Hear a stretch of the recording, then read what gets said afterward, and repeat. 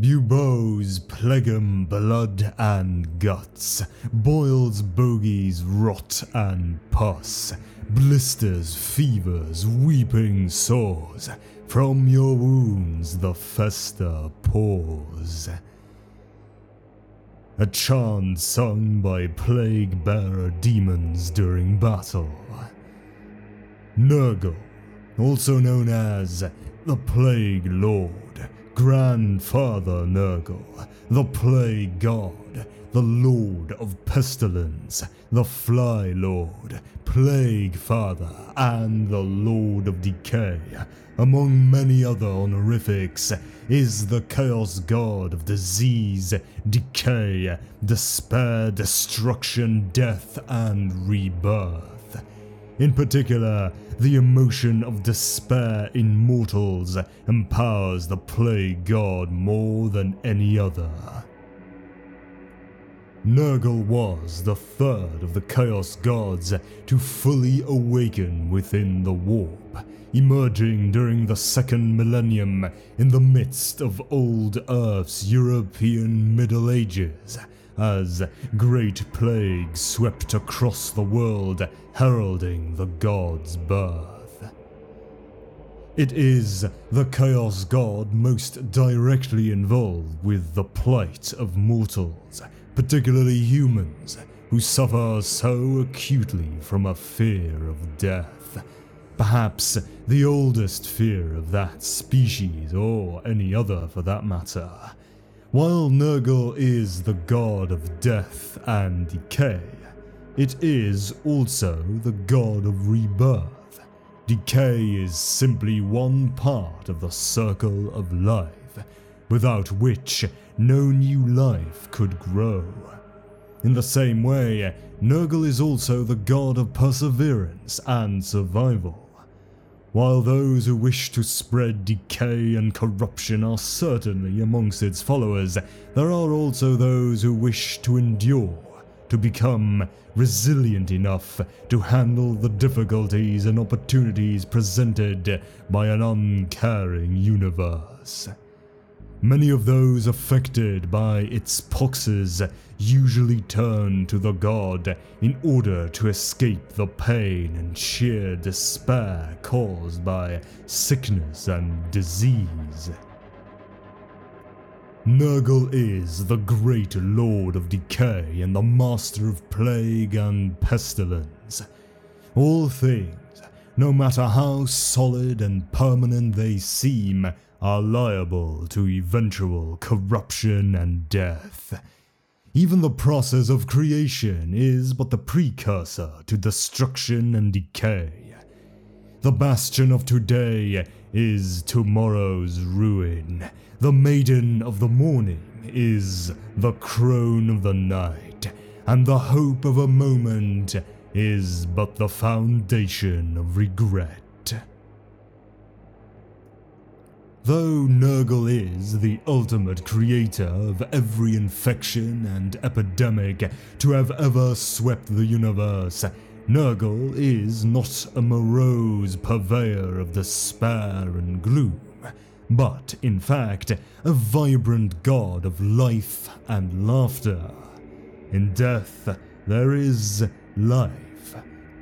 Upon the decay of the living, untold numbers of bacteria, viruses, insects, and other carrion feeders thrive. All life feeds upon other life to exist, and from every plague grows new generations, stronger and more virile than those who came before. Regeneration comes from decay, just as hope springs from despair. The greatest inspiration comes in the darkest moments. In times of crisis, mortals are truly tested and driven to excel.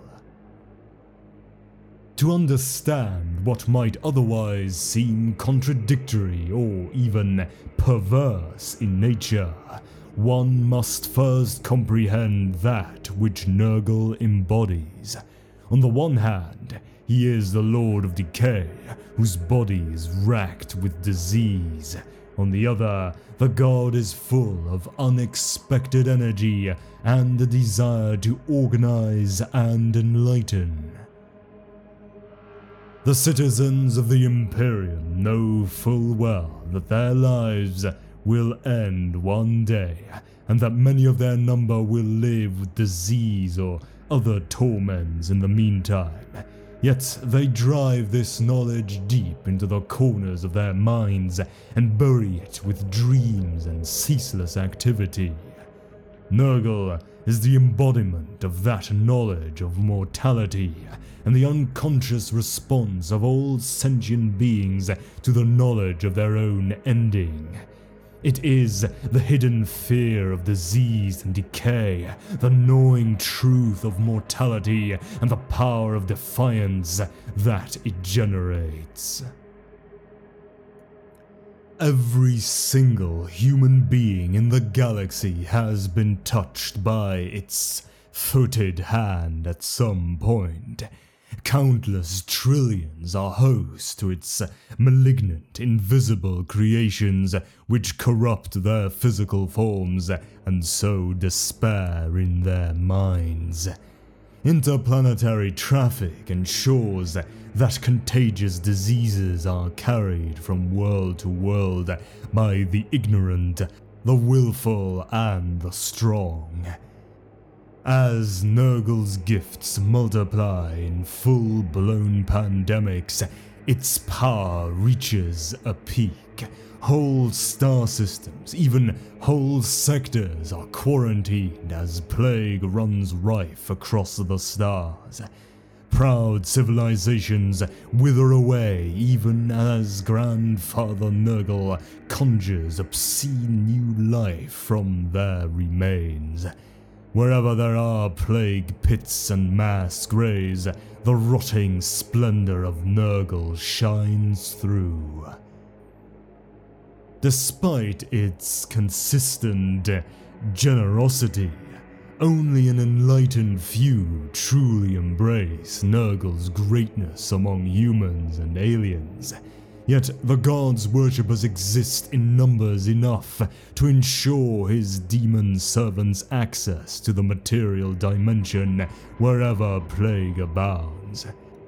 Of all the Chaos gods, it is Nurgle who most appreciates the personal touch. Its sacred number is seven its colors are those of rot and ruin, waste and vomit, mucus and pus. The plague god is represented by the colors of green and brown, generally the most putrid variations of each. Nurgle also embodies the will of mankind and other intelligent species to struggle on no matter what opposes it, albeit perversely suffering, death, pain. Human beings push these things from their minds and try to forget them by living in the moment in the hope that the future will be a better one.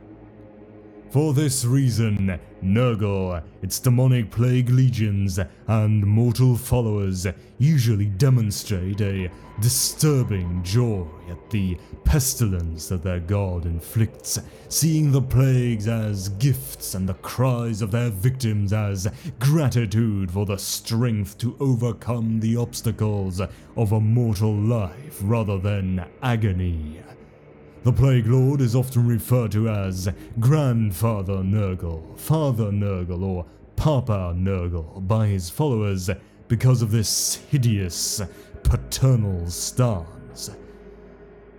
It has recently been uncovered by the Aeldari Harlequins that Nurgle is in possession of the Aeldari goddess Isha, whom it rescued from Slaanesh's clutches and imprisoned her within its realm in the warp. Nurgle utilizes her for his experiments, creating new contagions and diseases to spread into the material universe. With her divine powers of healing, Isha quickly regenerates from these tests. although Nurgle gleans what information is desired from the temporary effects.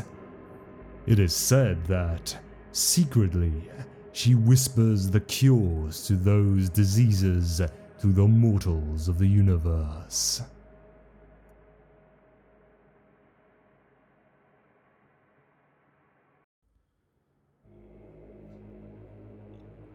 Nurgle is one of the four major chaos gods of the Immaterium. He is most commonly called the Lord of Decay, but is also known by countless other titles and names, including the Fly Lord, the Plague Lord, the Great Corruptor, and the Master of Pestilence. The power of Nurgle is ultimately embodied in entropy, morbidity, disease, and physical corruption. Of the four great ruinous powers, Nurgle is said to be the one most involved with the everyday lives of mortals. Through the gifts of raging fevers and shaking chills, its hand is upon them from cradle to grave. Few mortals escape its touch in their lives. The plague god is sometimes called the Lord of All, because all things, no matter how strong and secure, fall to physical corruption and entropy in the end. Every Chaos God embodies within the Immaterium the hopes, fears, and other strong emotions generated by mortal beings in real space.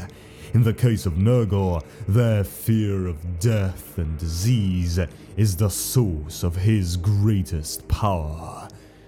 The mortal's unconscious response to that fear their desperation to cling to life no matter the cost gives Nurgle an opening into their souls.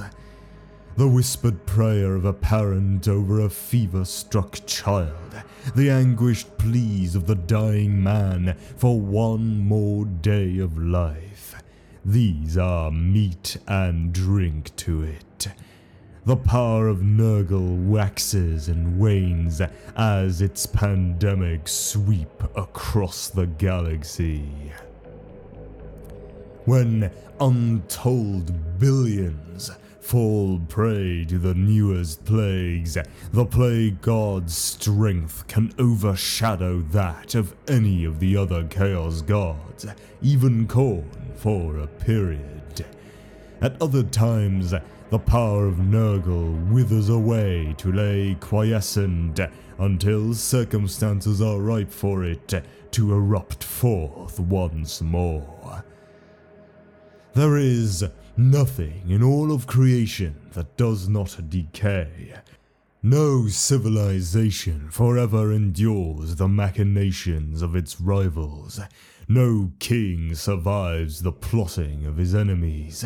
No life avoids decay.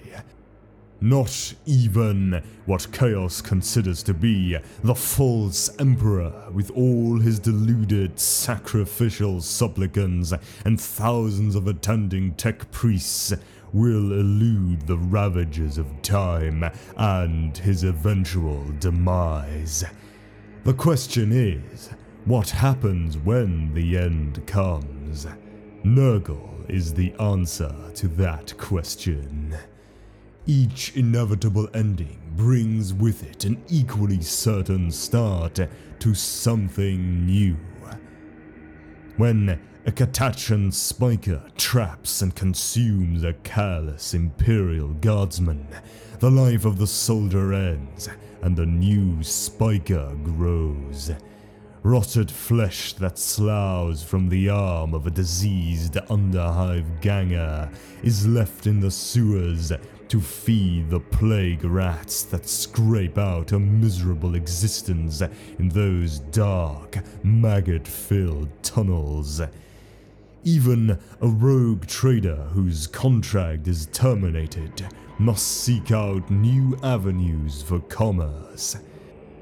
There is no ending that does not result in the hope of renewal. It is because of this inescapable fact of life that Nurgle is known to many as the Lord of all, for there is nothing that transpires anywhere that does not serve its ends. There is no being, no action or outcome that does not further Nurgle's aims. In truth, it could simply sit back and wait for the universe to unfold according to its design. Nurgle is not content, however, to wait. It has too much energy, too much enthusiasm for its work to just sit idly by. From deep within its manse, it brews contagion, both physical plagues and virulent ideas, that it and its followers then unleash upon the mortal realm. It welcomes the resistance of those who attempt to deny it, for each time they erect defenses against its advances, it learns new ways to circumvent the opposition. Each cure breeds a newer, more powerful disease. Every victory for its enemies is Pyrrhic, coming at a cost so great that it leaves the defenders open to the tender predations of Nurgle's ever evolving poxes. This is the nature of it. Resistance is self defeating. Change is a delay, nothing more running and denial only bide time at a cost of suffering, and time has no meaning in the realm of chaos.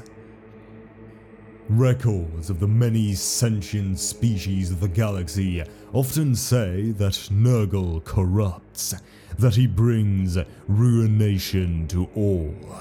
To a small extent, they are correct but their evaluation is narrow in scope and fails to grasp the greater truth. The more primitive races have a much better understanding of the undeniable nature of the Master of Certitude.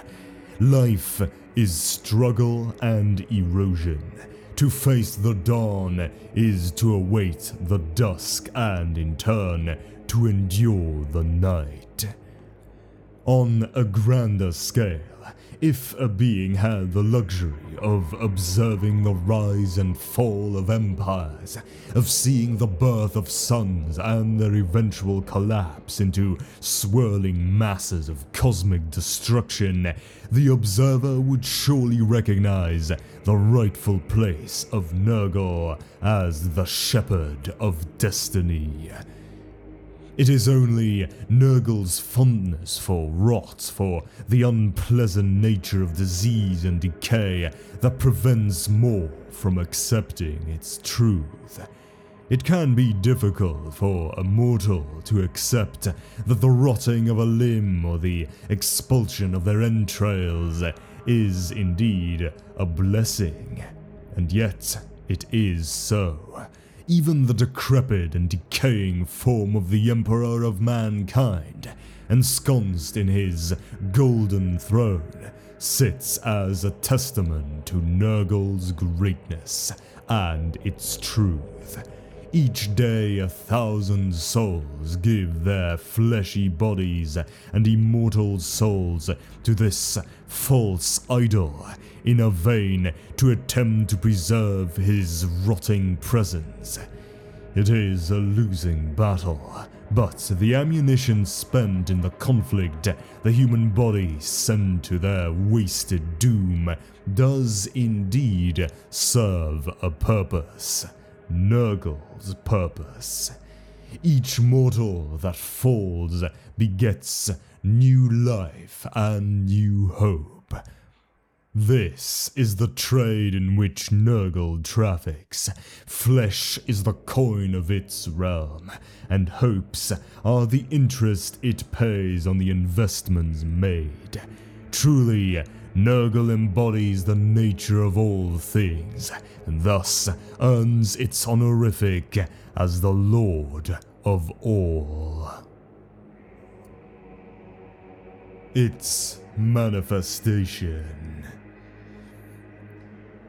I gazed at its magnificence, my vision completely filled with its glorious girth. All around me was flesh and smiling flies. Within its bulk, I spied lesser minions suckling on its leaking entrails. At its feet, pools of pus and other bodily fluids gathered, in which its children splashed and played with glee. It was a blessing to behold such glory and joy.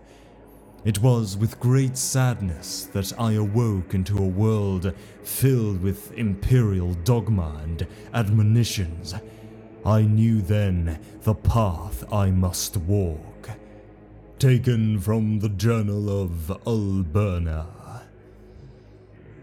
When it comes to understanding the glory that is the physical form of the Plague Father, those who are privileged enough to be able to read about the god in the pages of secret texts hidden away in the Black Library are on equal footing with the primitive warriors gathered around sooty bonfires within the wandering Kill Kroozer battleships of marauding Orks. Nurgle, like the other major Chaos gods, does not have one single form that can be recorded, shared, analyzed, or conceived. It is majesty unfathomable by the mortal mind. Additionally, Nurgle is often referred to as a he, with the masculine gender, though in fact, like all the other entities composed of psychic energy called Chaos Gods, it in fact has no gender. Still, if one were to delve into the comparative histories and galaxy wide myths associated with it, certain commonalities would present themselves. Whereas other gods within the realm of chaos are associated with dozens, even hundreds of depictions. There are far fewer variations on the appearance of the Plague Father. The legends and tales universally describe Nurgle in unflattering terms. It is said to be an immense, bloated humanoid, its body swollen with putrefaction. Its skin is shown as leathery and necrotic, its surface poked with running sores, swelling buboes, and oozing wounds. Internal organs bulging with decay spill through splits in the ruptured skin to hang like bunches of scrofulous grapes around its vast girth. It is a vast mound of rotting flesh, with open sores and gaping wounds in which its lesser demonic minions like Nurglings cavort and frolic, bursting forth from its pustules and suckling upon their dripping foulness.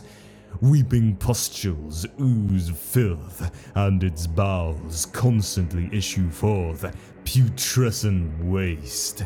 Its sickening, pus covered form is accompanied by an enveloping cloud of buzzing flies. Beneath its fingernails, maggots and other carrion feeders lay eggs around which develop cysts that periodically burst open and spew their rancid payloads. Perhaps the tales are correct. Perhaps they are not. It does not matter though, because whatever dwells within the mansion at the center of the Garden of Nurgle, there can be no denying that the creations of this being are both foul and wondrous. And the joy with which it goes about its work is infectious. Even if none of the insanity inspired stories of Nurgle can be counted on to be perfectly accurate, the similarities among them are too hard to dismiss, and those similarities extend beyond the gut churning descriptions of its open sores, exposed intestines, and stupefying stench. Rots and decay are part of its nature, but so it seems are jocularity and enthusiasm. Such is the paradox of Nurgle. Indeed, it may be its boundless energy, the passion with which it delights in its work, and its irrepressible joviality that erodes the minds of so many who contemplate its existence. It seems impossible to believe that a rotund footed purveyor of plague and ruin could simultaneously positively beam with mirth and have such concern for the billions of souls upon whom it inflicts its racking and hideous poxes. To bend the mind toward the task of reconciling such foulness with such frivolity is to invite madness. Those who are able to do so without slipping into lunacy are fortunate. They will have taken an important step toward understanding the great corruption that is to come. Unlike their less enlightened brethren, they alone will recognize that the Plague Lord is a tireless gardener of rot who is always trying to prepare the slowly eroding realm they call reality for its grotesque apotheosis.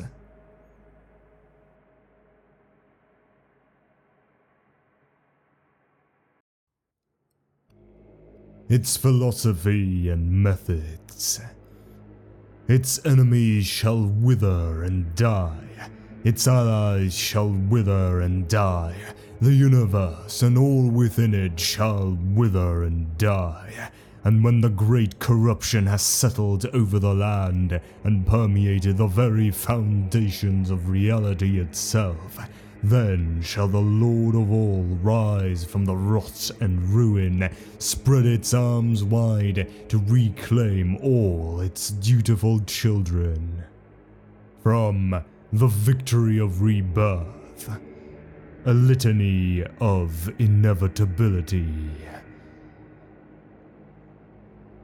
Though they strive to embrace each day of life left to them, to forestall the inevitable, those who serve Nurgle must accept their eventual death. They must also believe in the equal certainty of rebirth. This hope for something new and glorious is the great comfort that the Plague Father has shared with them. It is a hope born from Nurgle's own understanding of the workings of the universe just as its followers have accepted the teachings of their lord, Nurgle itself long ago accepted that decay brings an end to all things, but that through such decay, life begins anew. Decay is the victor in all battles, the opposition to which there is no resistance. This is why Nurgle embraces decay as a weapon, as a tool, as a means of instructing and guiding his followers. Decay is at the core of its philosophy and methods, blessed with reshaped forms and renewed purpose.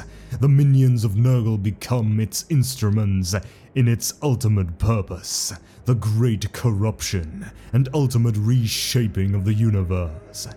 As vessels and embodiments of decay, mortals and demons alike are effectively living fuel, powering the great cycle through their actions and indeed their simple rotting infectious presence in the realm of chaos and on the mortal plane. Decay is glorious. Few who pledge themselves to Nurgle do so in the belief that it offers an easy path to power and glory. It does not promise increased influence, brutal strength, or hedonistic excess like its fellow gods. Those who turn to it for aid are not seeking to make their dreams become reality, to strike down those who stand in opposition, or to be adored by all who know them. No, most mortals who find their way into Nurgle's footed embrace wish only for an end to some sort of suffering. They call to it to protect them from the ravages of disease, to save them from the slow, painful death of unchecked infection, or to otherwise spare them from whatever may ail them. There are even some who do not seek it out, but are instead visited by one of its messengers and offered a bargain. No matter if they sought its gifts or if they themselves were found, the exchange is never quite what was expected.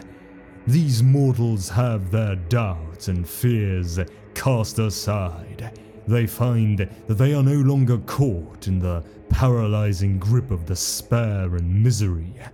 Their afflictions, however, linger and are usually joined by other blights. New sores and pustules appear, the foul liquids they contain becoming home to small worms and maggots.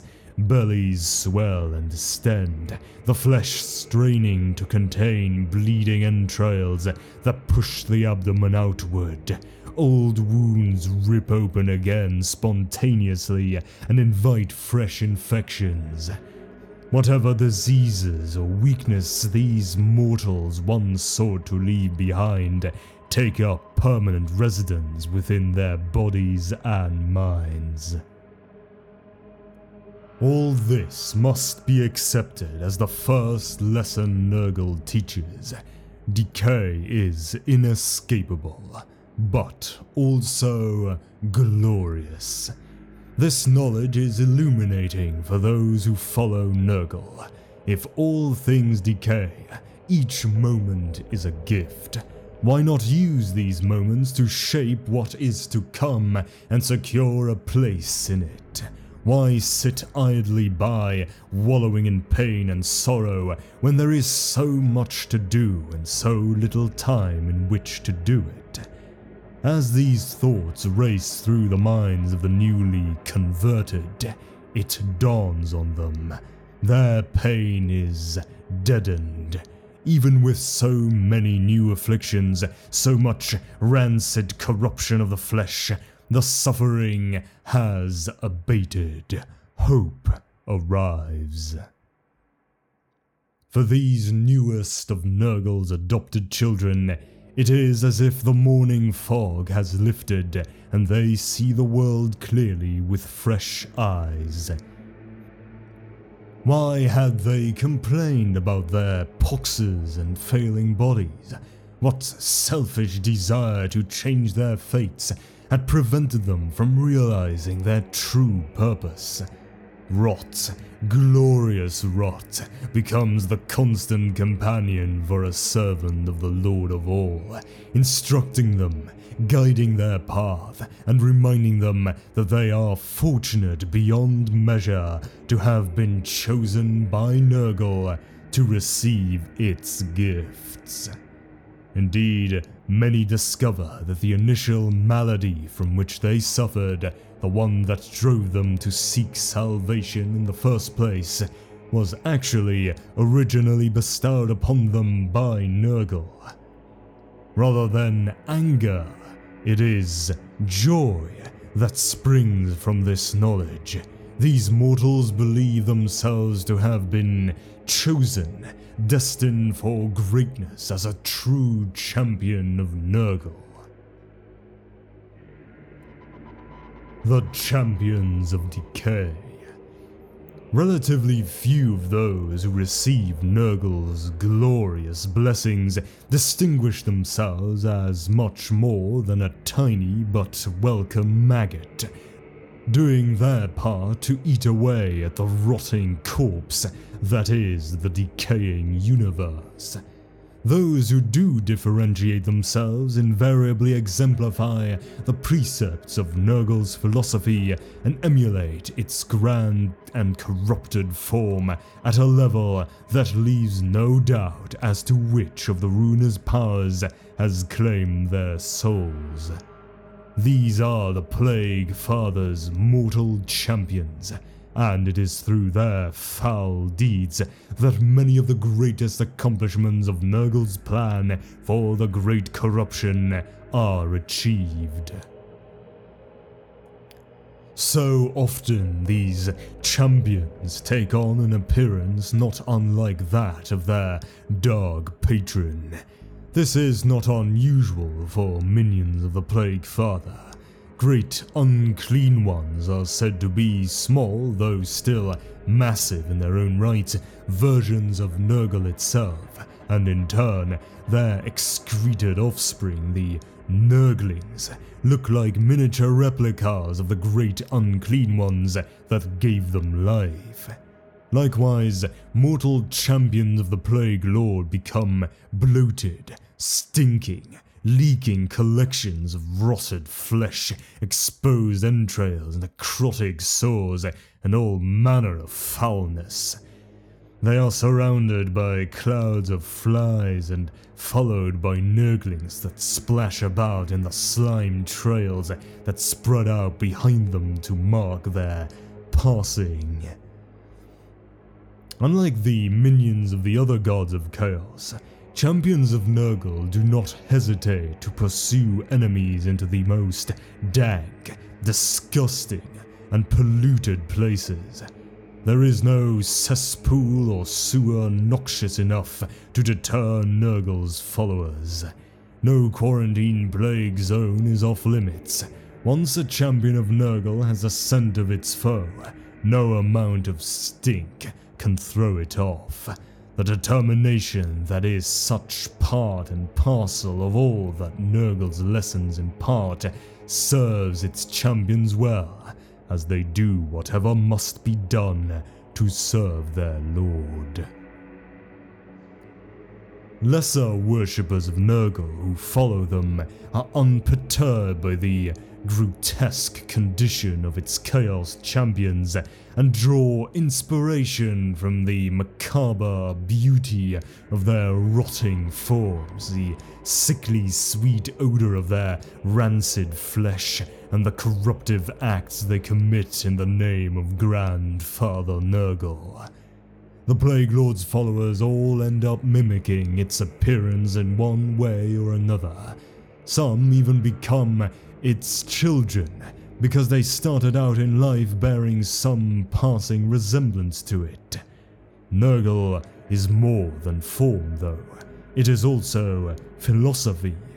Most mortal Nurglite Chaos champions and many lesser followers end up thinking like it does, though in a limited fashion due to the constraints of mortal minds.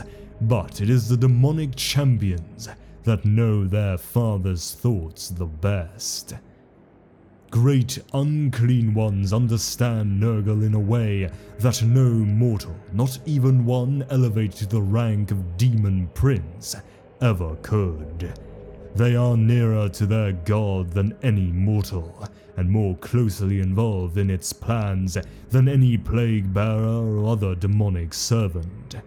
There is little place for jealousy or scheming in the Garden of Nurgle, or any of its domains beyond, and its demon princes know this.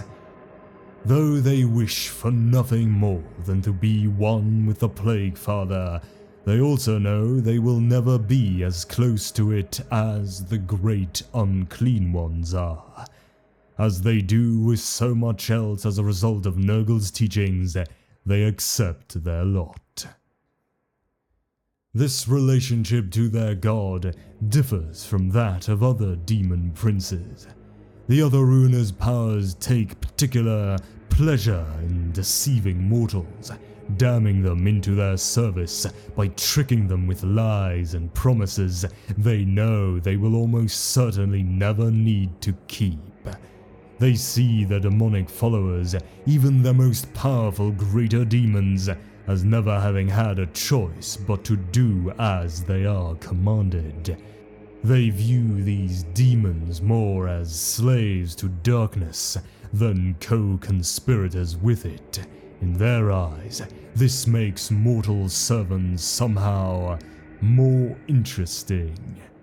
Nurgle, on the other hand, knows most of its mortal followers turn to him as a last act of desperation but its demonic minions, most especially the Great Unclean Ones, have genuine affection for Grandfather Nurgle and serve him out of love. Nurgle, for its part, delights in reciprocating, reminding it as it does of a kind of cycle, and therefore the Plague Lord takes great interest and pride in the efforts of its demonic servants. The desires of Nurgle and its champions are one. Each knows that the great corruption is a higher purpose that must be served, and they do so with great resolve and satisfaction. A great game. The major Chaos Gods are all ultimately after the same thing each wishes to overthrow the existing order of the universe and claim dominion over both the realm of chaos and the mortal world. The questions of how this is to be achieved and which lord the universe will call master are answered very differently by each of the dark gods. Slaanesh would see all of existence turned into a playground in which it and its minions could eternally explore new delights. Khorne desires nothing more than to claim every skull and drop of blood to use as the mortar with which to build the foundations of his new kingdom. Tzeentch surely has its own plans for what a twisted reality reshaped in its image would look like, but it has not shared what that might be. Perhaps it does not even know itself. To Nurgle, these alternatives are indistinguishable, self indulgent fantasies with no sense of greater purpose or understanding of the nature of things. To wit, the ambitions of the others seem small. Reality will be remade. Both the mortal plane and the realm of chaos have ever been on a path of decay, and from decay come death and the end.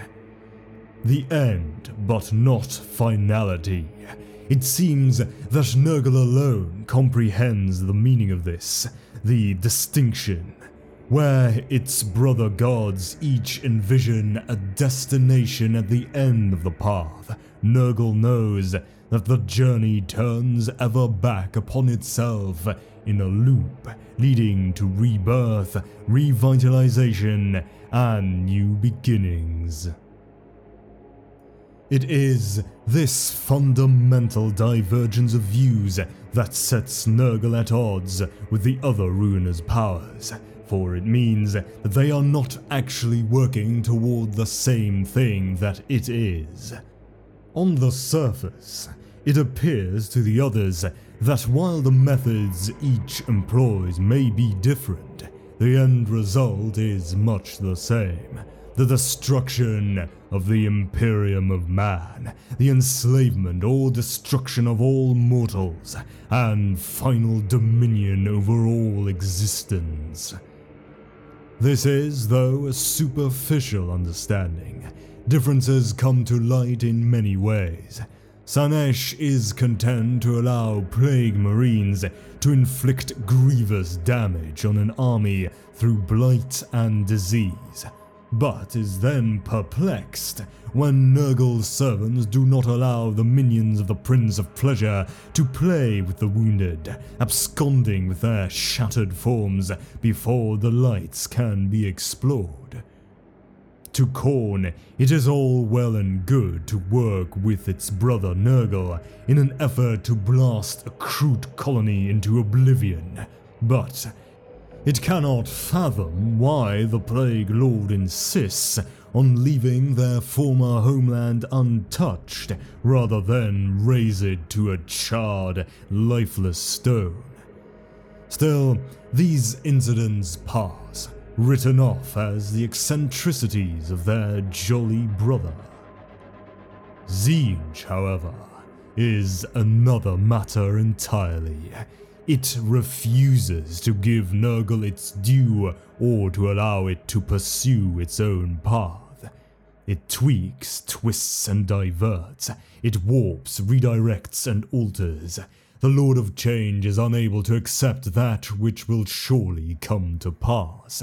It is constantly looking to modify the rules to its advantage so that its desired ending is the one that will come to pass even if that means interfering with Nurgle's desires, no matter how small the consequences of those desires may appear to be. Nurgle knows that such meddling is pointless. It knows that the journey down the path does not stop, but the machinations of its brother are vexing and irritating just the same.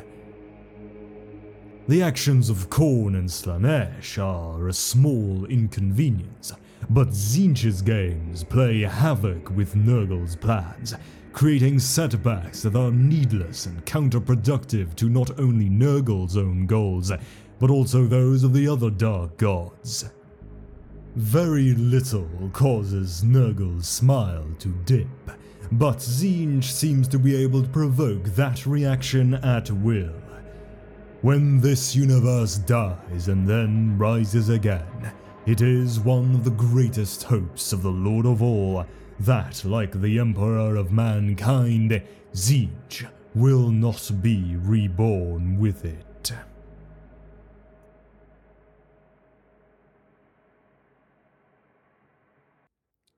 The Cult of Nurgle Nurgle is the mighty Lord of Decay who presides over all physical corruption and morbidity in creation. Disease and putrefaction, the inevitable entropic decline of all things, are the favors it bestows upon the universe. It is to free themselves from despair, the eternal mortal dread of disease, starvation, and death, that humans and other mortals turn to the Plague Lord. Despite its horrific appearance, Nurgle is a warm, welcoming god who prides itself on the achievements of its followers, gifting them with its most hideous diseases, even as it protects them from all pain and the cold sleep of death. The fear of death can be found in the hearts of all the sentient beings of the universe, and so there is no shortage of mortals of every species present in the galaxy willing to sacrifice their immortal souls in return for the corrupted preservation of their physical bodies for all time. Compared to the other Chaos gods, many of Nurgle's followers worship it by no choice of their own the taint of Nurgle spreads readily among beasts and humanoids alike, and the awful arcane illness known as Nurgle's rot may strike even the strongest person and cause him or her to be outcast as a leper. Despite the nature of its influence, Nurgle takes an interest in the victims of the diseases it unleashes, which it considers to be gifts, jovially caring for them in a manner similar to a loving grandfather, for which reason it is frequently referred to as Grandfather Nurgle by its servants. This also causes some that would have otherwise never been infected to seek out disease and even poison themselves to earn its favor. The deranged worshippers of the Lord of Pestilence say that it concocts diverse contagions to inflict on the material universe for its amusement, and many of the most infectious and horrible diseases are Nurgle's proudest creations. It is their belief that those who die caught in the grip of one of Nurgle's terrible poxes are swept directly to its domain, the land of the Plague Lord. Those that sing the praises of it loud enough are sometimes spared so that they can spread its blessings further, for the Church of the Fly Lord is always open to all. Nurgle has many supplicants, but there are few with the fortitude to declare themselves as its champions. The few that can survive the great corruptor's manifold blessings exhibit a feverish, morbid energy and a preternatural resistance to physical damage. Those that fashion themselves champions of Nurgle represent a dire threat to densely populated worlds where close packed populations are vulnerable to a single contagion. Ships in the void are particularly vulnerable to disease, and many dying crews have beseeched the Lord of Decay for its intercession. Such was the fate of the Death Guard's Space Marine Legion when it became marooned in the warp on the long journey to Terra during the Horus Heresy. While they lay becalmed in the Immaterium, a mysterious contagion spread from one void ship to the next until the entire fleet was infected. Even the reinforced transhuman physiology of the Space Marines could not fight off the dire plague as it bloated the guts, distended the flesh, and rotted its victims from the inside. It is said that when even the Legion's Primarch, Mortarion, fell victim to the plague, he cried out to the ruinous powers of chaos in his delirium. His desperation to save himself and his legion called forth Nurgle, and Mortarion became his greatest champion and demon prince. These Chaos Space Marines became known as the Plague Marines, Nurgle's most potent and prized mortal servants. Thus, the Death Guard Legion has enjoyed the favor of Nurgle for the last 10,000 standard years. The Allure of Nurgle Entropy is all-consuming, fed by all struggles against it. Thus, even to hope is to despair. So, despair, and in your desperation, find purpose. From Zlan's The Racked, a speaker of rot. Life anywhere in the unfeeling galaxy is harsh, miserable, and full of pain and suffering. Service to an uncaring god emperor or an eldritch and absent cosmic deity is ultimately empty and devoid of meaning. Men live and die, and for what? For others to stand on their graves and proselytize. Where is the reward in that? For those who accept the boundless gifts of the Father of Plagues, however, everlasting hope is the ultimate reward. Decay is unavoidable. Bolters rust, the shells they fire are spent, and the fingers that pull their trigger wear down with the passing of time and repeated action.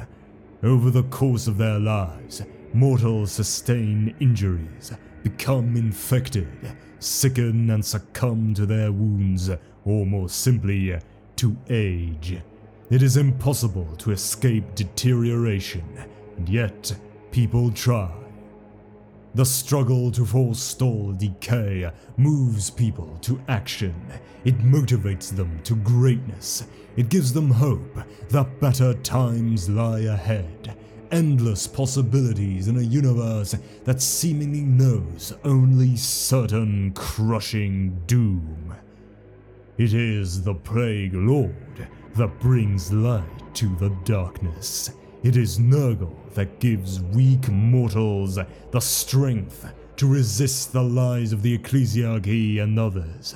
It is the embracing grandfather Nurgle who encourages its followers to defy the doom of mortal corruption and instead use it as a source of strength and inspiration. In the market squares of backward planets and in the drone filled cathedrals of the chapters of the Adeptus Ministorum, preachers spew their lies upon an unsuspecting and dim witted flock. They warn against corruption of the soul and filth of the spirit. They admonish their listeners that to turn from their faith is to join the ranks of the lost and the damned. Their words cannot encompass the horror of the truth. All Chaos gods have a dual nature, but Nurgle, more so than any other of the Ruinous powers, understands that the supposedly separate elements of its essence actually work together in a self sustaining cycle rather than standing apart from one another as different explanations of the same thing. Khorne, for instance, is a god of bloodshed and killing, of utter carnage, and also one of martial honor and a sense of accomplishment or betterment. These two halves can be seen as two sides of the same coin, but the coin must be flipped to view and appreciate its obverse. But this coin is illusory. There is no divide between its two faces, no beginning and no end. The coin is naught but a feeble mortal metaphor for the truth of Nurgle's influence. On one side there is decay, death, and disease. What would be on the other side of this coin is in fact part and parcel of the first side. Hope, rebirth, resistance, and growth all arise directly from facing death and decay. The seers of the Asuryani craft worlds and the inquisitors of the Imperium will never share this truth with the weak minded fools who drink in their lies like mother's milk. For a Chaos God, Nurgle's actions seem oddly harmonious, caring even. To receive the blessings of Nurgle, all one has to do is want to live and be willing to do whatever it takes to cling to that life. All else follows naturally from there. Worshippers of Khorne must push toward ever greater levels of destruction and carnage despite the risks to themselves or even to their allies. Those who devote themselves to Tzeentch must deny their lot in life and seek to change everything, never appreciating what they have. Followers of Slaanesh seek to escape reality in a blur of sensation and self delusion. And yet, all that is required to feel the caring touch of Nurgle is to see life for what it is and to want to make the most of it. All that is needed is faith in the future provided by Nurgle. While an invitation to stroll down its pock-strewn path should be welcomed as an honor, not all see it as such wasting away under the seemingly malign influence of a skin eating disease, is painful to the afflicted and often repulsive to those around them. When a child's flesh turns a sickly pale green, and her eyes glaze over and become dull, milky, unseeing orbs, her father comes to know that he is powerless to prevent her suffering. Seeing a friend's battlefield wound blacken and ooze blood tinged pus, the stench of its rot choking the air of a barracks, is a reminder of the frailty of all mortals. If this decay comes at the hands of Nurgle, via the thrust of a rusted blade or the unleashing of a supernatural plague, many will curse its name. For those who are unable to see that this pain and suffering lifts the veil that hides the truth of life and death from them, such moments and visions are terrifying. Some blessed mortals, however, are able to look beyond the putrescence and see the decay for what it is a gift from the Lord of all. This gift regardless of the form it takes, opens eyes even as it liquefies them. It simultaneously atrophies the leg muscles of its recipients and gives them the strength to march toward a greater purpose. It is Nurgle's great ambition to speed this universe towards its ultimate end by eroding the foundations of reality, much as a disease can erode the spirits and bodies of those infected. Through its careful and ceaseless experimentations, begun within its wondrous garden in the realm of chaos and then unleashed throughout the galaxy, the pillars that support the framework of existence are slowly but surely weakened. There will come a time when they collapse entirely and the universe will begin a massive transformation. The old ways will be swept aside like a troublesome fly. All that was will cease to be, and from the rotted ruins, a new and glorious reality will emerge one dominated by Nurgle and its beloved children.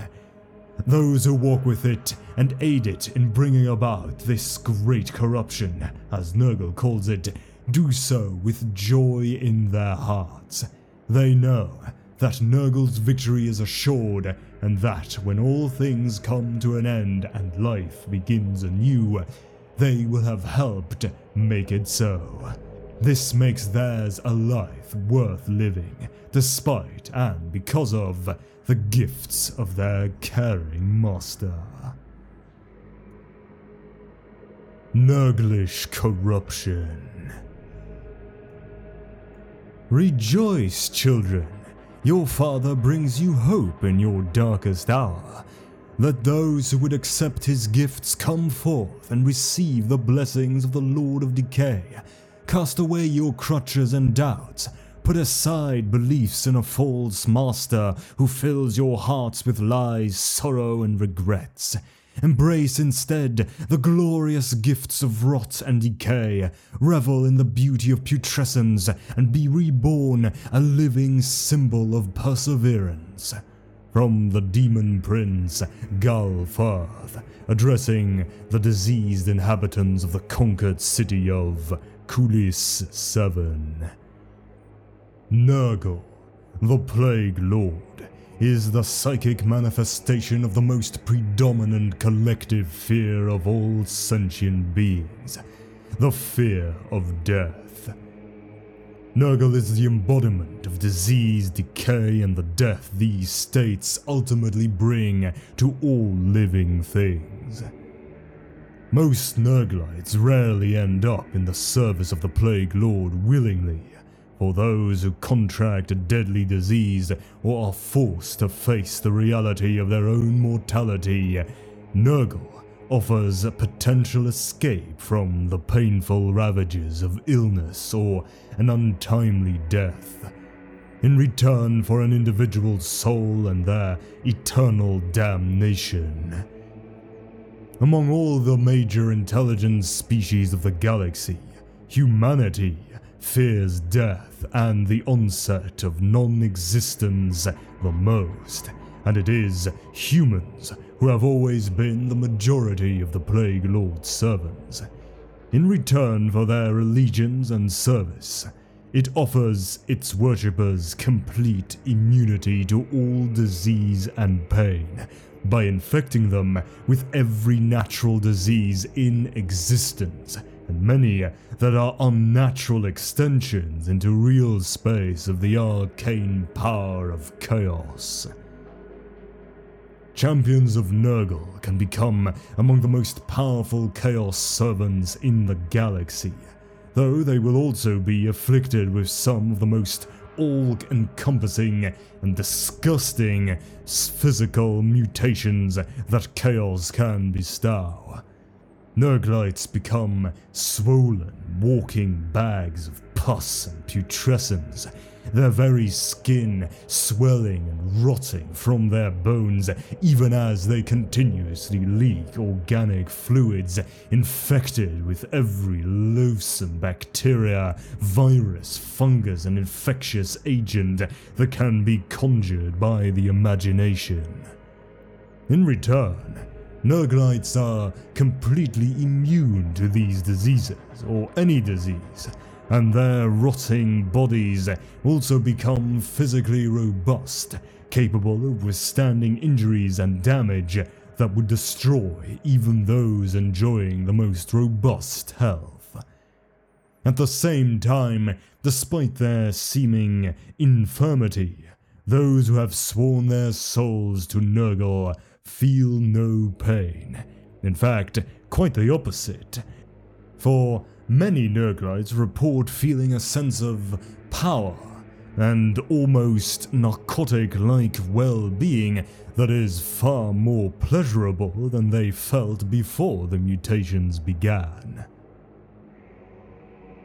And Nurgle's relationship with its brother gods. Nurgle is the age old enemy of the Chaos God Tzeentch, the Lord of Change. Their animating psychic energies come from diametrically opposing mortal emotions and beliefs. Tzeentch's power derives from hope and the capacity of mortals to change their fortunes, while Nurgle's comes from defiance, born out of despair and hopelessness at the inevitability of death. The followers of Nurgle often pit themselves against those of Tzeentch in complex political intrigues in the mortal realm, forever attempting to mire its schemes for change in dull minded conservatism and parochial self interest. The corrupting influence of Nurgle's servants is often successful in thwarting the architect of fate, and they erode its accomplishments constantly. Safe in the knowledge that whatever survives the collapse into entropy becomes their inheritance. Nurgle and Tzeentch are in many ways opposed, for at the heart of the matter, the Changer of Ways seeks to build ever more complex and improbable webs of power, while Nurgle embodies continuous growth, destruction, and renewal. The war between the two powers is ceaseless and played out across countless realities. That which Tzeentch creates and evolves to undreamed of heights of complexity and insane perfection, Nurgle's servants gnaw away at, seeking to bring the entire edifice toppling down so that new growth can emerge from the fecund grave.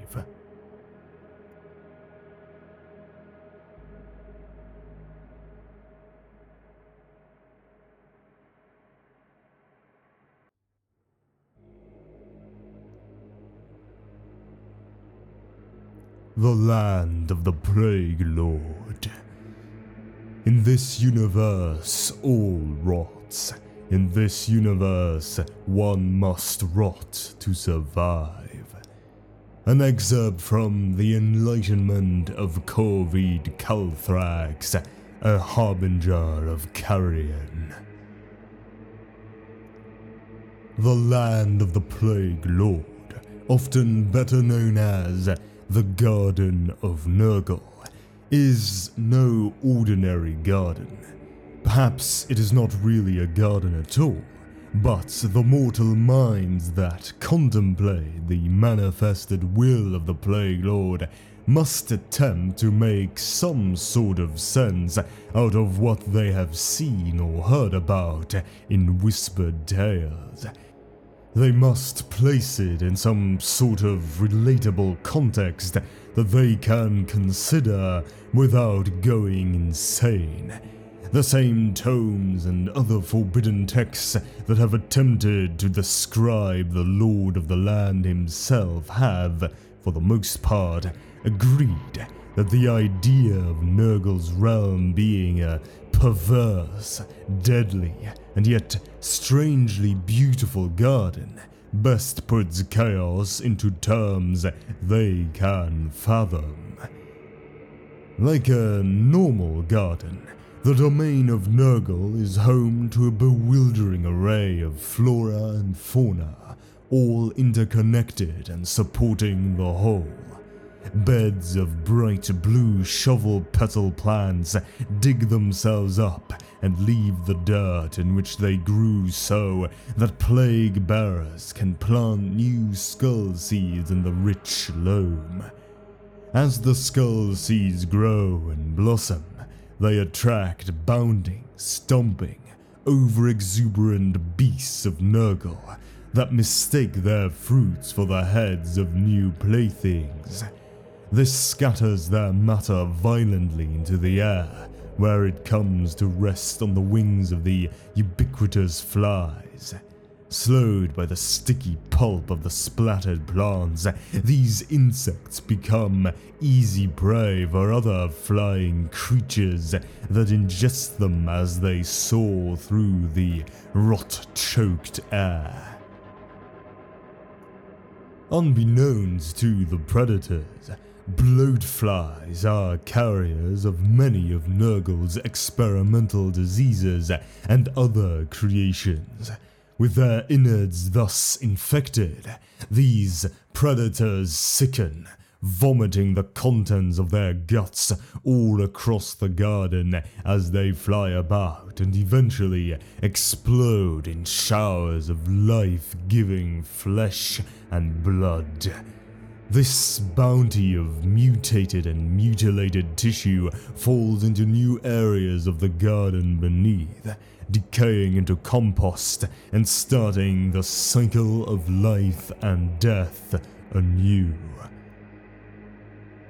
Though the Garden of Nurgle does share certain commonalities with gardens and jungles on planets in real space, it still is not a worldly garden in any sane sense. A visitor in this bizarre and perilous realm doesn't walk from this place to that. They experience what needs to be experienced. Even the demons that tend to the Garden of Nurgle are not really what might be thought of as a workforce that arrives at the place, does a job, and then leaves for other regions. These demons are a part of the experience of the garden itself. This is especially troublesome for the plague bearers, whose metamorphosed minds were once mortal and still strive to impose a modicum of reality in their unreal existences. Still, even the plague bearers accept their place in the garden and spend their eternity enjoying all it offers in their own way. The Plague Father affords all its children many ways to explore and appreciate its realm, and even to become a part of it. Though it is a god of chaos, it also has a need to create order, to monitor its creations, and to control its experiments. A visitor to its realm would find a dizzying amount of diversity of experiences. Here they might find trees made of nothing but the flesh of Aeldari, constantly oozing the tears of a dying race. There they might find fields where tongues sprout up from the earth, each one blistered by the malign influence of a different infection. There is no telling what wonders await around each bend in the paths that stretch and wind throughout the Garden of Nurgle. But any who encounter them will surely have their sanity tested and questioned, should they survive to share the tale. This land is an ever changing realm, shifting according to the needs and whims of its master. Many areas exist only temporarily, taking shape to allow the plague god to indulge a particular fancy or to be granted to an especially accomplished great unclean one as a reward. Even so, the legends hint that some aspects of this footed domain remain relatively constant. Nurgle has need of fields in which to plant its crops of blighted herbs, pits to hold the bodies upon which it conducts its experiments, and most important of all, a gigantic and decrepit mansion in which to store its creations, brew its legendary contagions, entertain guests, and plot the course of the great corruption. While the mortal realm is laid waste by blight and pestilence, the lands of Nurgle in the realm of chaos thrive on disease and corruption. Tended by the Lord of Decay, this unwholesome realm is home to every pox and affliction imaginable, and is foetid with the stench of rot. Twisted, rotten boughs entangled with grasping vines cover the mouldering ground. Entwining like broken fingers, fungi, both plain and spectacular, break through the squelching mulch of the forest floor, puffing out clouds of choking spores. The stems of half demonic plants wave off their own accord, unstirred by the insect choked air. Their colors puncture the gloom, havens of cheeriness in a dismal woodland. Human featured beetles flit along the banks of sluggish, muddy rivers. Reeds rattle, whispering the names of the poxes inflicted upon the worlds of mortals by great Nurgle, or lamenting those that have died from the caress of their creator. Jutting from amidst this primordial mire is Nurgle's Manse. Decrepit and ancient, yet eternally strong at its foundations. The mansion is an eclectic structure of rotted timbers and broken walls, overgrown with crawling poison ivy and thick mosses. Cracked windows and crumbling stone compete with verdigris coated bronze, rusted ironwork, and lichen covered cornices to outdo each other with their corrupted charm. Within these tumbling walls, Nurgle toils. Beneath mildewed and sacking beams, the great god works for eternity at a rusted cauldron a receptacle vast enough to contain all the oceans of all the worlds. Chuckling and murmuring to itself, Nurgle labors to create contagion and pestilence, the most sublime and unfettered forms of life. With every stir of Nurgle's maggot ridden ladle, a dozen fresh diseases flourish and are scattered through the stars. From time to time, it reaches down with a clawed hand to scoop a portion of the ghastly mixture into its cavernous mouth, tasting the fruits of its labor. With each passing day, it comes closer to brewing its perfect disease, a spiritual plague that will spread across the extent of the universe and see all living things gathered unto its rotting embrace. Dwarfed by their mighty lord, a host of plague bearers are gathered about it, each chant sonorously, keeping count of the diseases created the mischievous nurglings that have hatched, and the souls claimed by the Lord of Decay's putrid blessings.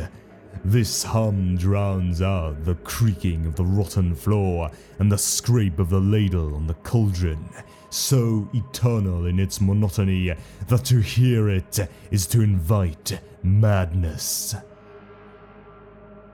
When its diseases wax strong in the mortal realm, its garden blooms with death's heads and fresh filth, encroaching upon the lands of the other Chaos gods. War follows as Nurgle's adversaries fight back, and the Plague Bearers take up arms to defend the morbid forest.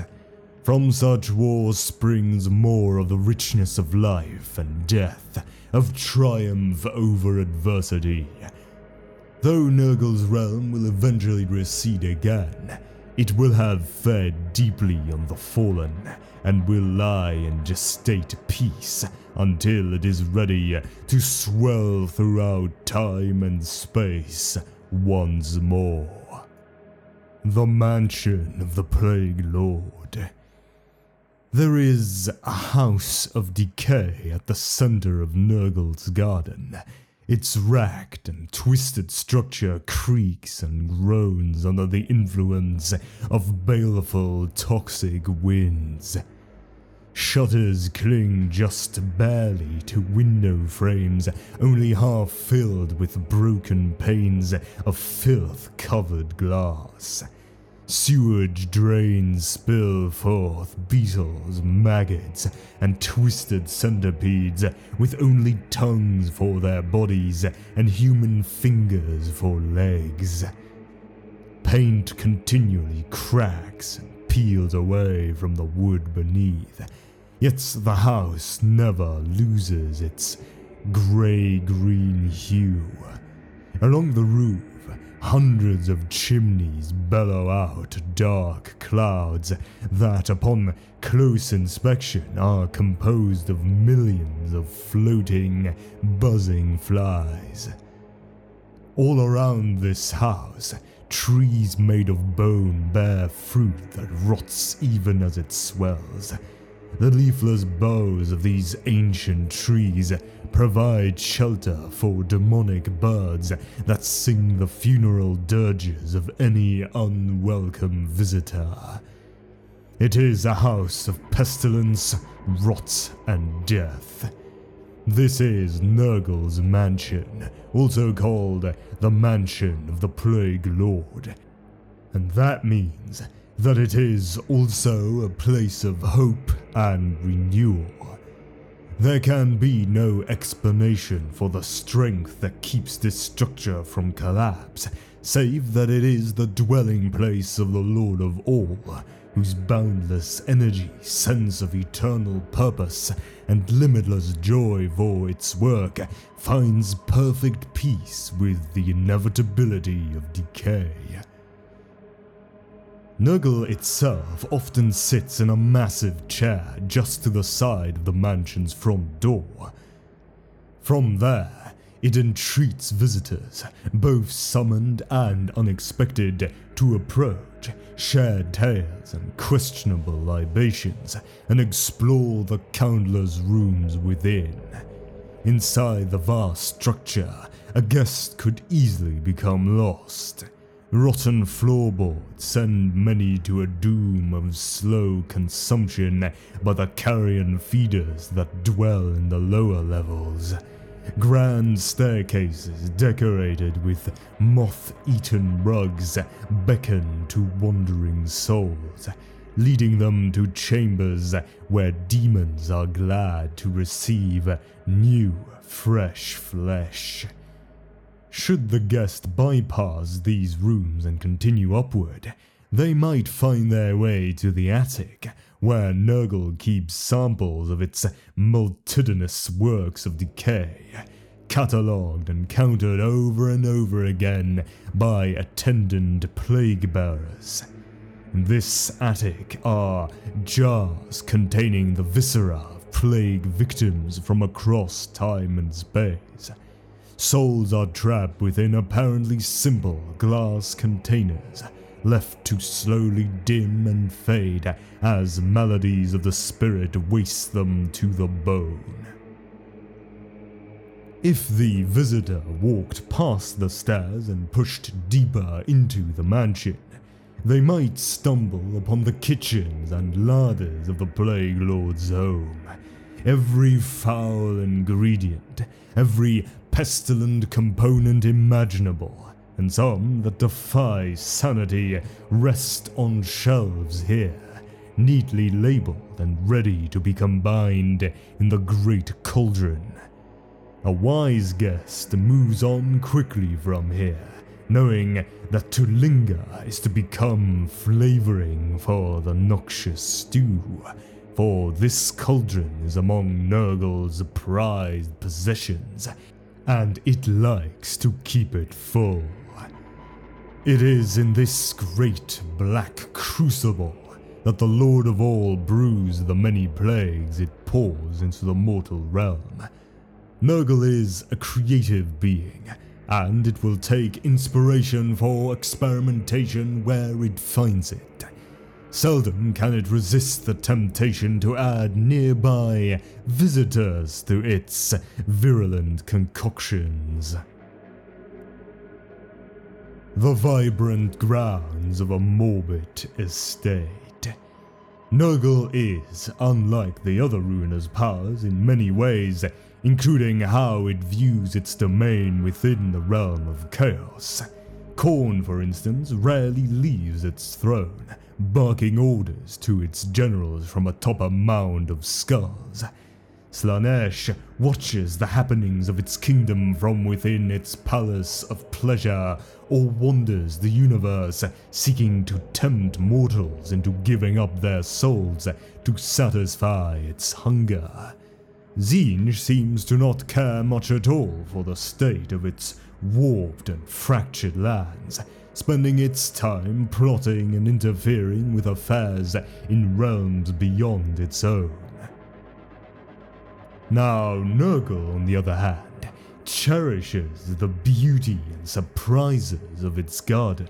It routinely takes strolls down its twisted paths, cavorting with its demons and stopping to observe as one of its diseases takes its toll on a wounded captive. Nurgle is in touch with its land and its many regions. In its wanderings outside of the mansion, it passes by some of its favorite places, many of which have existed since Nurgle first thought of them and are likely to be the models for the reborn universe that is to come. A moment's journey from the mansion are the deathbeds, a place it visits more often than perhaps any other. It is a place that serves two purposes. Not only are wayward travelers and defeated invaders trapped here, stored in the deep pits and sucking muck of this place, awaiting some future foul use or their eventual demise, but it is here that Nurgle can indulge in one of its greatest forms of entertainment. The Plague Lord loves to hear stories of the realms beyond its own. They inspire it to create new pestilences that are well suited to other lands, and in the deathbeds, it has countless potential storytellers. Sometimes it offers these unfortunates the chance to improve their position by spitting the worms from their mouths and sharing tales of their worlds with it. Those who amuse it sufficiently are plucked from the muck and removed to the mansion. There they have the great honor of becoming vessels for Nurgle's newest plagues. Once they are properly infected, Grandfather Nurgle smiles, giving them one last tender, gut churning embrace and send them back into the lands their stories described. After visiting the deathbeds, Nurgle often makes the Poxyards the next stop on its stroll. It is here that it tests the efficiency of its contagions of the flesh and spirit. Each malady requires a different set of trials to gauge its ability to achieve the Plague Lord's desires. This means that the physical form of the Poxyards changes to suit the task. For a test of the spirit, this region of the garden may be filled with crystal clear lakes. A dehydrated test subject may see these lakes and, believing salvation is at hand, drink deeply of the cool waters. Suddenly, the water will turn to pus, tormenting the sick and weakened soul. For a test of a skin eating disease, the poxyards may be filled with claw thrust brambles. Infected captives can be sent running into the demon plants, chased by beasts of Nurgle. If the captives scream as they pass through the razor edge branches of the plants, then Nurgle knows that the poor wretches can still feel pain and its affliction needs refinement. No matter the incarnation of the Poxyard, this corner of the garden always gives Nurgle new insights, and therefore it spends a great deal of time there. There are other places such as these, places that are always buzzing with activity and joy. The Morabusium, where the most precious toxic herbs take root. The Dunglash Arboretum, where refined excrement hangs from trees like putrid, reeking vines, and many others. All of these regions provide Nurgle with the ingredients and insights it needs to further its work at the cauldron when it returns to the mansion after one of its invigorating jaunts. The realm of a million and one plagues.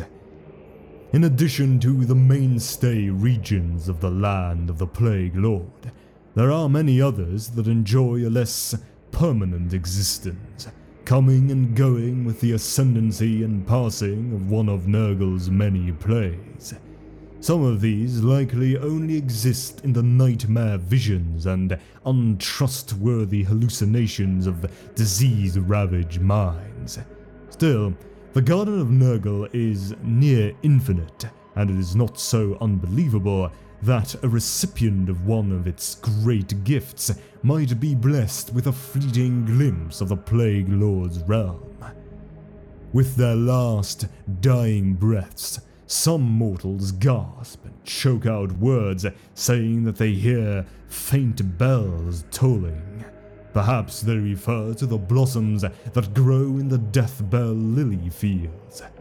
When a mortal dies as the result of one of Nurgle's many diseases, one of these pallid flowers opens up and emits a tiny chime to mark the success of Nurgle's handiwork. The ringing is incessant. The hanging gardens of Tush Bolg are a sight to be seen. This remote slice of Nurgle's realm was given to the great unclean one Tush Bolg as acknowledgement of its use of choking plague to wipe out an Ork infestation on Hurax, a planet that Nurgle coveted.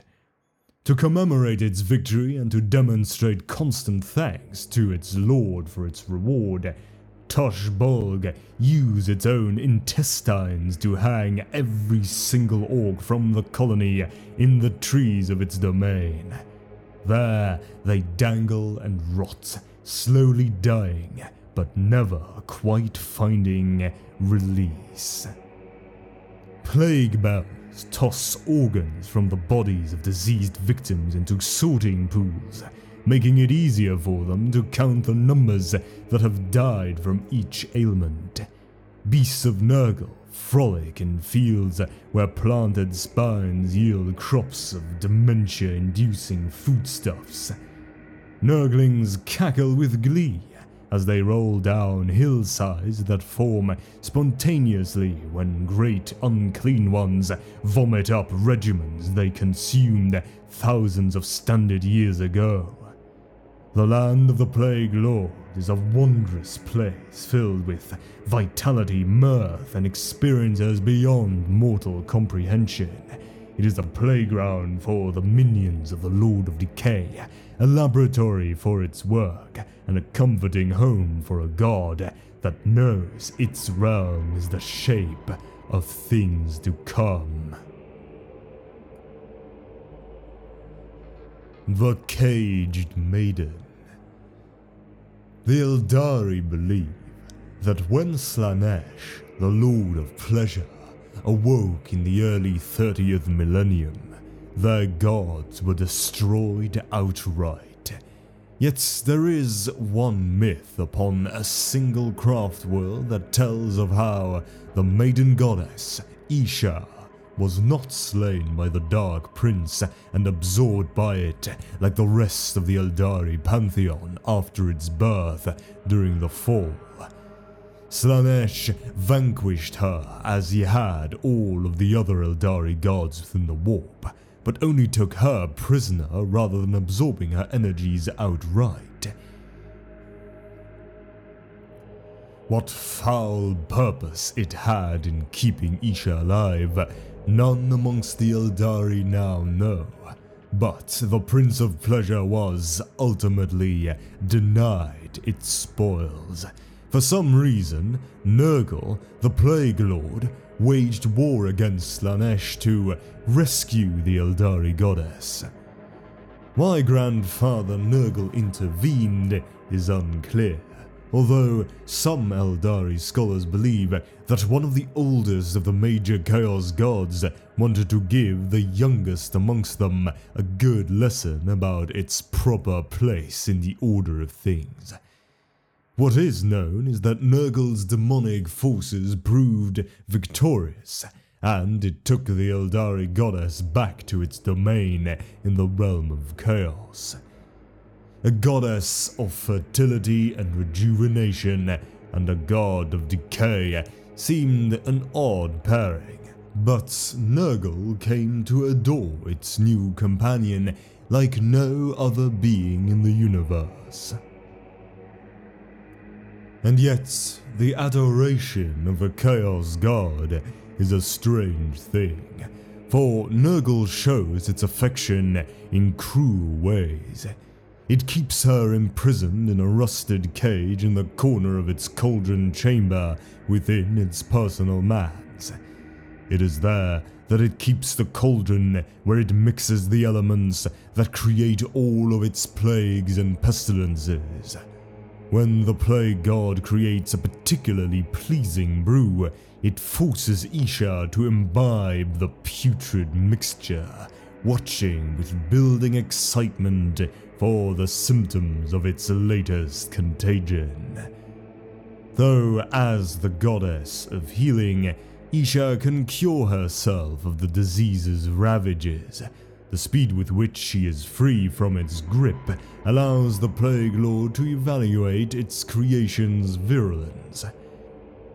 If Nurgle is pleased, it returns to its cauldron and empties its contents into a bottomless drain, the noxious liquid falling as rain upon one of the mortal worlds. If the concoction does not meet with its approval, it gulps down the contents of the cauldron, vomits it back into the pot, and starts afresh. While the Plague Lord is busy at its cauldron, Isha accepts her lot stoically and fights back against the Lord of Decay's evil in the same way she once fought against Khaine, whispering the cures to these new diseases into the universe so that mortals might know them and resist the hideous designs of Grandfather Nurgle uninvited guests. Very few mortal eyes have beheld the land of the Plague Lord. Its swamplands constantly wheeze a fog of supernatural diseases, and living beings cannot endure so much as a single breath of its repugnance. Only Nurgle itself can spare visitors from its garden's toxic affections. When it is expecting company, it will open a path through the gurgling fungus fronds with a single magnanimous gesture.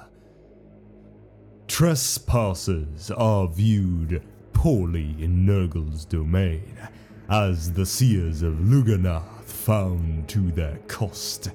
The Aeldari of that far flung craft world have long told the story of the caged maiden, wherein Isha, the goddess of fertility and healing, is imprisoned in Nurgle's mansion at the mercy of her grotesque admirer. These Asuryani believe their legends to be absolute truth, and even aspire to one day free their goddess from Nurgle's unctuous grasp.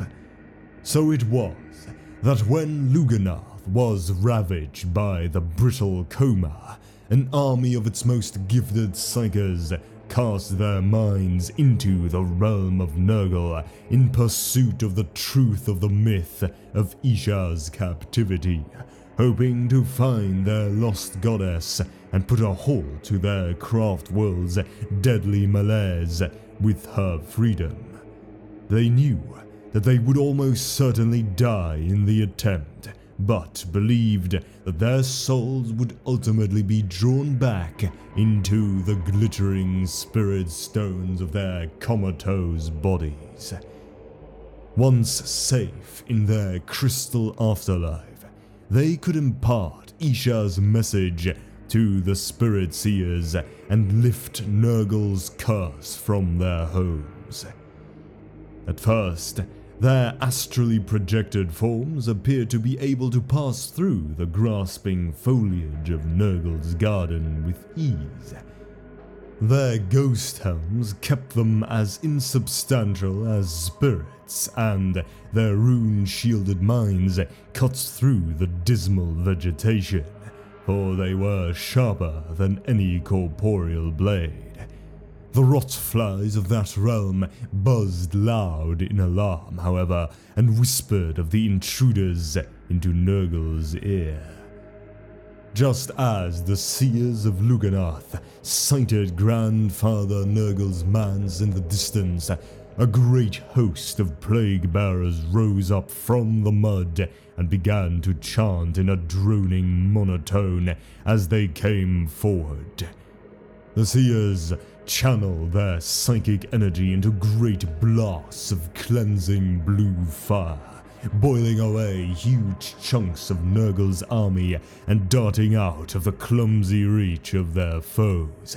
But ever more plague bearers emerge from the slurry to block their path.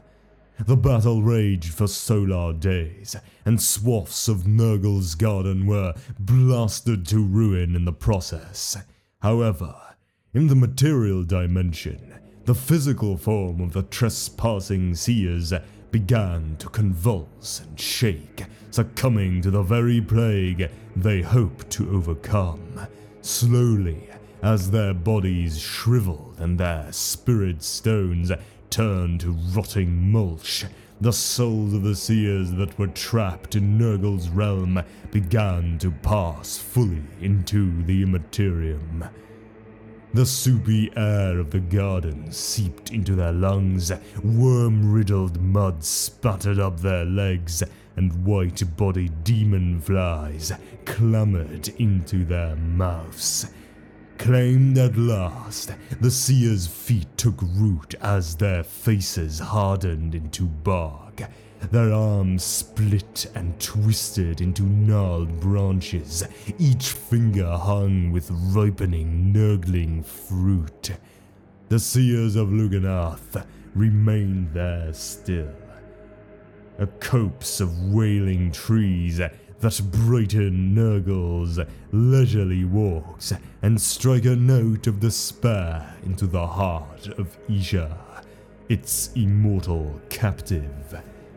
Such is the fate of those who enter uninvited into the land of the Plague Lord, for even the generosity of the grandfather of plagues has its limit.